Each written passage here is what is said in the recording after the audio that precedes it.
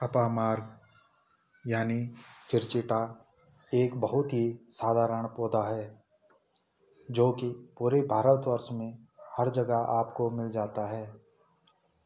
यह बहुत कांटेदार होता है, परंतु यह जितना साधारण है, उतना ही ज़्यादा औषधि गुणों से भरपूर होता है। आयुर्वेदिक औषधि के रूप में अपामार का उपयोग हज़ारों सालों से किया जा रहा है। आज के इस वीडियो में हम अपामार के विषय में चर्चा करेंगे। हम चर्चा करेंगे कि अपामार के क्या क्या फ़ायदे हैं क्या क्या गुण हैं किन किन रोगों में उपयोग किया जा सकता है। तो अपामार के विषय में पूरी जानकारी के लिए वीडियो अंत तक देखें। तो चलिए दोस्तों, नमस्कार। दोस्तों, मैं हरीराम पैनुली चीफ फार्मासिस्ट आयुष। सबसे पहले बात करते हैं अपामार्ग, पौधे के क्या क्या गुण हैं? अपामार्ग एक औषधीय वनस्पति है।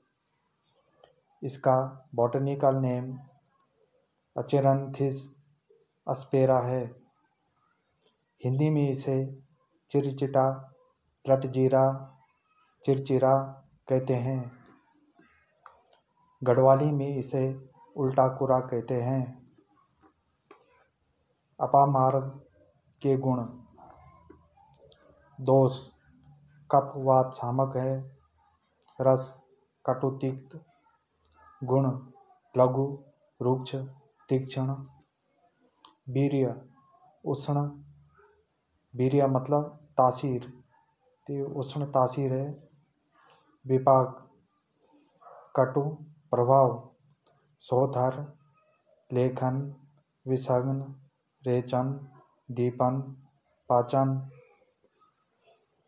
यह मूत्रजनक है। मूत्र को बढ़ाने वाला है। किडनी की पथरी में इसकी पत्ते की काढ़े का उपयोग किया जाता है। यह कृमिहग्न है। पेट के कीड़ों को नेचुरल तरीके से यह कीड़ों को ख़त्म करता है। बवासीर के रोगियों में इसके पंचांग पंचांग मतलब जड़, तना, पत्ती, फूल, फल का उपयोग किया जाता है। यह विषग्न है। ततया बिच्छू के डंक मारने पर इसकी पत्ती का लेप करने से जलन में निजात मिलती है। दोस्तों चलो आगे हम और बताते हैं इसके बारे में आपको। ये देखिए मित्रों, ये इसके फल हैं जो जीरे के आकार के हैं। इसे, इसलिए इसे लट जीरा भी कहते हैं। इसके फलों का उपयोग भस्मक रोग में किया जाता है। दो, दोस्तों, भस्मक रोग क्या होता है, इसके बारे में मैं आपको बताता हूँ। जिन लोगों को बहुत अधिक भूख लगती है, खाना खाने के थोड़ी देर बाद फिर भूख लग जाती है। उन रोगियों को इसके बीज का चूर्ण बनाकर तीन ग्राम सुबह, तीन ग्राम शाम को प्रयोग कराया जाता है।